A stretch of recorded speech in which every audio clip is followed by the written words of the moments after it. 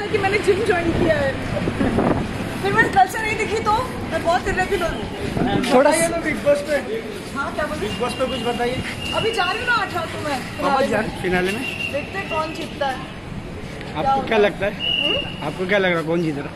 शमिता अच्छा खेल रही है राकेश अच्छा खेल रहा है दिव्या। दिव्या ऑफकोर्स बहुत ही अच्छा खेल रही है। निशांत भी। सो या ऑफकोर्स ये चार तो मेरी फेवरेट है। नेहा जी भी निकल गए ना? हाँ नेहा कल रात को कुछ मिड नाइट चलो मैं जाऊँ? बाय बस एक मिनट खाली मुझे कोई डर लग रहा है आई होप मैं रेगुलर एक मिनट।